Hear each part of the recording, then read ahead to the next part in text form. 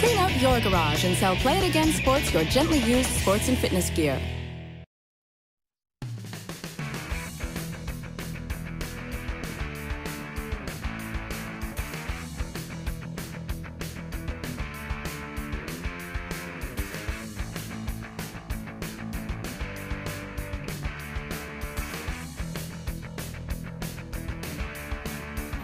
Playing the tunes, getting the fans involved. Rip towards left, that will fall for a hit.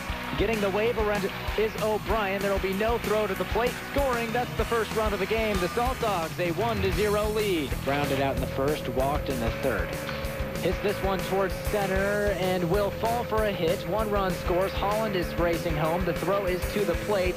There will be no tag. Sliding in safely. Bunt pulls it back, rips one up the middle. That'll be a single. Oduber racing home, staying at second base. Jacobs, the throw to the plate is cut off. Sliding in safely. Randolph Oduber.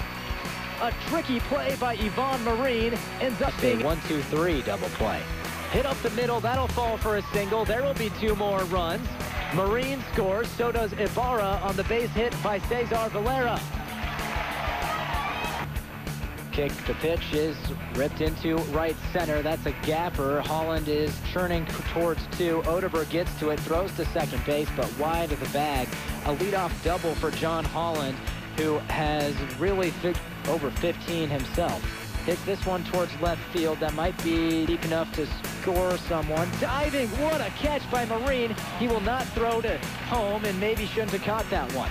Either way, it's 4 to three now. Tagging up and scoring is John Holland. And I mean it. The delivery. Ground ball right side. Wilkie fields it. Tosses to Wagner, who gets there.